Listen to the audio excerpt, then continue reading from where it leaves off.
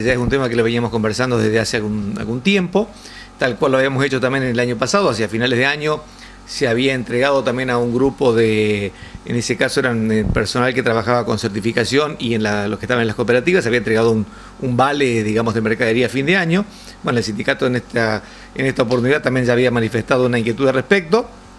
Hicimos un par de, reuniones analizando el tema y hemos resuelto eh, volver a entregar este año a fin de año, o sea, para Navidad, un bono, digamos, este, que es justamente para adquisición de, mercadería, un vale de mercadería. En este caso va a alcanzar a eh, aquellos este, empleados que están por certificación y por cooperativas eh, y también estamos incluyendo a algunos contratados y planta permanente. Lo que se hizo es una escala de acuerdo al, ingreso de cada uno, aquellos que estén eh, con un ingreso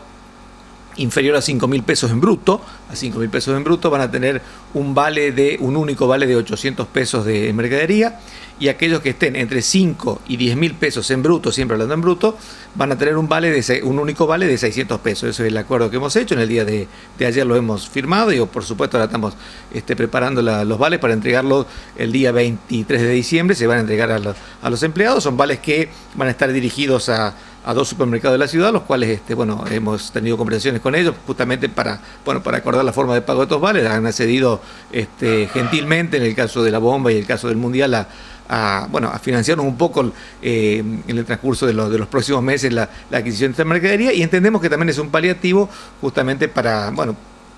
para aquellos empleados que están con los sueldos un poco más deprimidos.